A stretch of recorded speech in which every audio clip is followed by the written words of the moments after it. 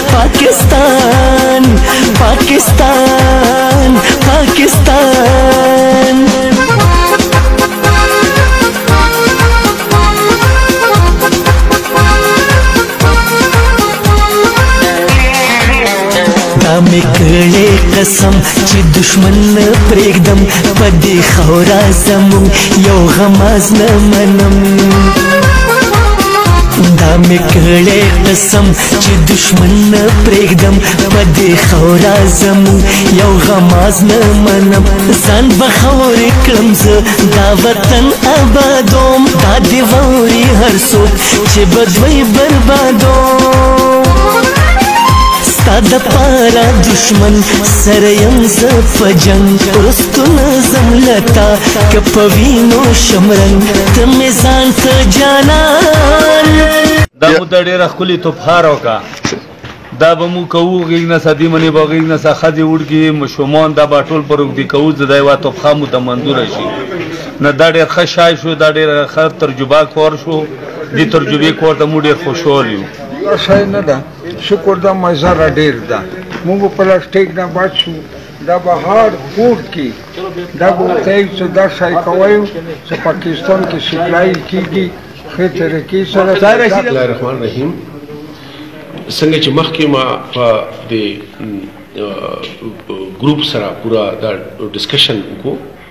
د دا د پروجیکټ د ذریعہ معاش په بنیاد باندې په کورم کې لګیا دی کار کوي د د دې چې کوم ډونر دی کوم چې مونږ ته دا ټول فاینانشل او ټیکنیکل ګایډلاینز راکړي سہولتونه راکړي دا اداره عالمي اداره برای خوراک اداره ده چې په ټوله دنیا کې کار کوي ورلډ فوډ پروګرام په نوم باندې زه د اف ار ډي نماینده یم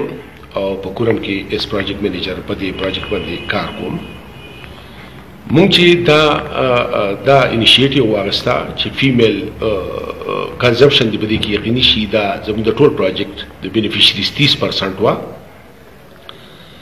نو په دې کې موږ 537 کسان دسې سلیکټ کړي د هغوی موږ رجسټریشن وکړو چې هغوی د میجري نه دا څیزونه چې کم په روټین کې په ډومېسټیک او بهر په استعمال کې راځي دا هغوی له موږ د دوه دېرشو کسانو ټرینرانو په لاس باندې ټریننګ ورکړل او د مجزري نه هغوی دا تاسو چې څنګه وکتل دا مختلف پروډکټس جوړ کړل په دې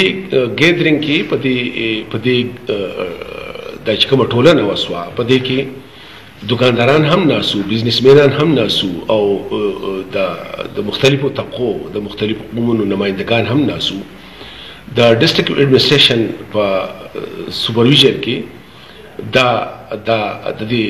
جلسې ددې ګیدرینګ ددې ټولنې انقیاد شوی و ددې بنیادی مقصد دا و چې مونږه دا دا پروډکټ ددې دا پروپیګیټ کو ددې مارکیټینګ وکړو او دا ددې خلکو ددې هنرمندو ددې زنانو خاص کر ددوی دا ذریعه معاش سبب جوړ شي او دوی ددې نه مخکې په دې باندې کار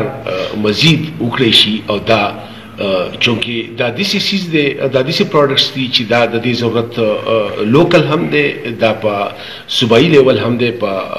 نېشنل هم دی انټرنیشنل هم دی او دا ډېر انکریج کیږي ځکه چې دا 100% دا د پلاستیک نیم البدل دی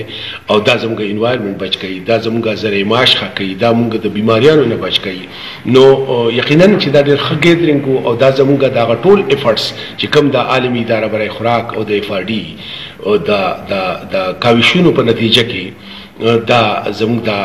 څومره کارونه شوي وو د هغې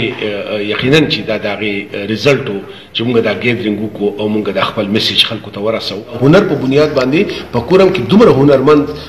الکان دومره هنرمند جنکۍ دا موجود دي که دوی ته دا موقع میلاو شي څنګه چې اف ار ډي او ډبلیو پی دا مقور کړه نو یقینا چې دوی نور هم دا خپل پروډکټس دا خپل هنر دا خپل دا خپل سکیل دا نور هم دوی ریفاین کولی شي او دا مزید ښه کولی شي او دا د خلکو د استعمال لپاره نه یې ضرورت ګرځولی شي او په دې باندې خپل معاشي ضرورتونه هم پوره کولی شي نو په دې په دې په دې اړ کې به زه د میډیا نه زما به د خواسي چې هغوی په خپل میډیا چینلز باندې د دې پروپیګیشن وکړي دا د دې د د د د ویډیوز وچلوي خلکو ته دا انفارمیشن ورسوي چې د